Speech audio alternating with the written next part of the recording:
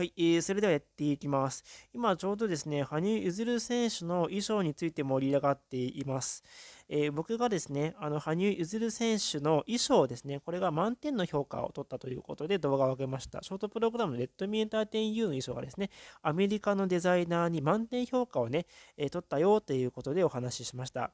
えー、それに対してコメントもいただいております。岩田様、えー、いつもありがとうございます。こんにちは。羽生選手の衣装は毎回楽しみにしています。伊藤さん、伊藤さとみさんですよね、の方が制作しているようです。えー、毎回、羽生選手が色やプログラムのコンセプトを伊藤さんに伝えているとのことです。ということですね。えー、選手、フィギュアスケーターのあの衣装って、やはりこう軽くね、していくっていうのがあるじゃないですか。軽くして、だけどキラキラスパンコールとかついていくっていうのが結構難しい技術が必要だと思うんですね。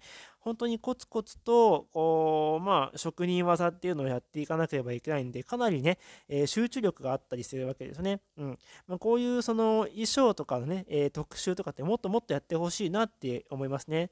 伊藤さんのデザインは本当に緻密であり、個性的でもあり、インパクト性もあります。僕確か伊藤さんが、えー、衣装をや作っていた特集をね見てて彼女なんか友達がいないとかなんか言ってたような気がするんですよね。本当にこうもうなんか引きこもりでってなんかおっしゃってましたよね。うん。結構なんか非社交的な感じでっていうふうにおっしゃってたんで、それくらい集中をしなければいけないのか、自分にこう、やっぱりイマジネーションとかもね、やっぱ必要な食料だと思うんで、まあ、結構そういった内にこもった感じなのかなと思うんですよね。だからこそ、まあ、こういった衣装とかを作ることができるのかなってちょっと想像はするんですけどもね。はい。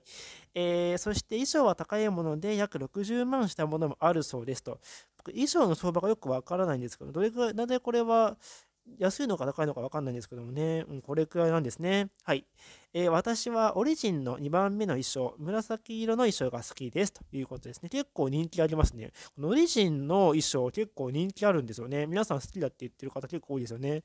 えー、今回のショートプログラムの衣装、レッドミエンターテイン U ですね。ライダー風の黒の上着と革パン、これがかっこいいということですね。これ人気めちゃくちゃありますね。僕も初めてあんな黒のね、衣装を羽生選手着たのは初めてだなと思ったんでね、えー、斬新でイメチェンしてきたなって思うんですけどもね。うん。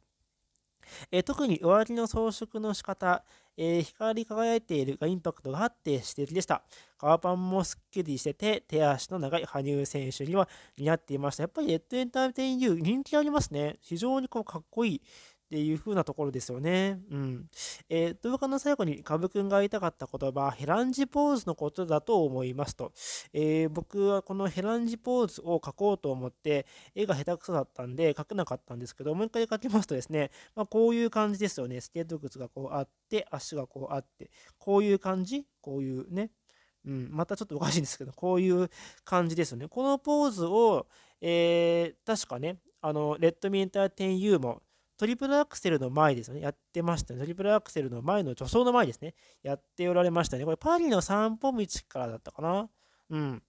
で、これ最近結構流行ってますよね。いろんな他の選手。確かね、トゥルソワさんもやってた気がするんですよね。ロシアの女子選手たちも、このヘランジポーズってのやってたんですよね。うん。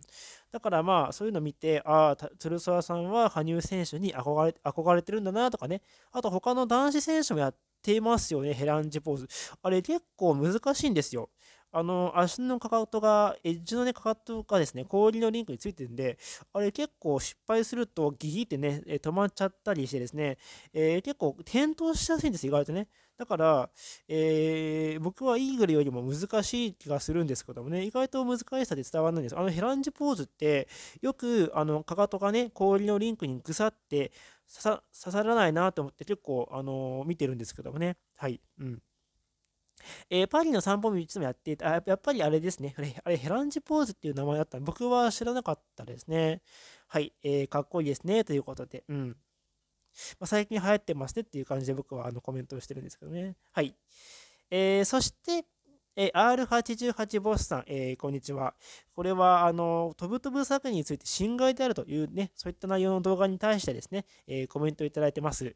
えー、飛ぶ飛ぶ詐欺とは何をほざく？と言ってやりたい炎上証拠ですね。いや、炎上もね、してないと思いますね。僕の感覚ではね、炎上にもなってないんで、うん、まあもう抜けてますね。本当に日韓現代、クズの極みだよということでね、えー、おっしゃってますね。もはや炎上にもなってないかなと思います。はい。えー、続きまして、加圧式標準筋エクササイズメソッド様、こんにちは。いつもありがとうございます。今回も丁寧な解説で、ジャッジのブレの問題点を分かりやすく解説されて納得できました。まあ、多分これはシリアスエラーのことだと思いますね。やっぱシリアスエラーって、えー、今期から始まったんですけど、まあ、それが発動しているジャッジと発動していないジャッジと、えー、発動されてもなんかその、あの割合的に点数が下がっていないっていう、まあ、ABC、まあ、3つの、えー、状態が確認できました。なので、えー、まあ、シリアスエラー、現在、あの、機能不全、機能不全になってるかなっていうところがあるわけですね。そういった話でしたね。はい。えー、近々、国別対抗戦があるので、ジャッジがどうなるのか注目です。まあ、多分、国別対抗戦は日本で行われるので、日本のジャッジが入るかなとは思いますね。テクニカル、えー、パネルとかも多分そちらの方が入ってくるんじゃないかなとは、ちょっと注目はしてますね。はい。で、まあ、シリアスエラーは、まあ、ジャンプ点灯とかね、えー、そういったものに発動されるんですけども、まあ、それもジャッジの裁量に任されるということになるので、まあ、結構ね、また曖昧になる可能性あるんですけれども、まあ、注目に値するかなとは思っています。はい、えー、オリンピックにしてもスポーツの世界は少なからず、えー、財政、えー、政財の影響が、えー、ありますが、数年前から言われている、これ僕ちょっとわかんないですね。QFS。うん。これちょっとわかんなかったです。QFS、ネサラデサラの移行で、ちょっとすみません。これね、僕わからなかったです。の移行で大きく変わるんじゃないかなと期待して、皆さんこれわかる方はちょっとね、えー、なんかコメントしていただけると嬉しいんですけどね。ネサラゲサラの移行で大きく変わるんじゃないかと期待しています。後で僕ちょっとググってみますね。えー、そして昨日日銀がデジタル通貨実証実験開始と報道されました。いやー、あのメソッド詳しいですよね。いつも本当にこういう詳しい情報。デジタルあの通貨っていうのは僕も聞いたことはありますね。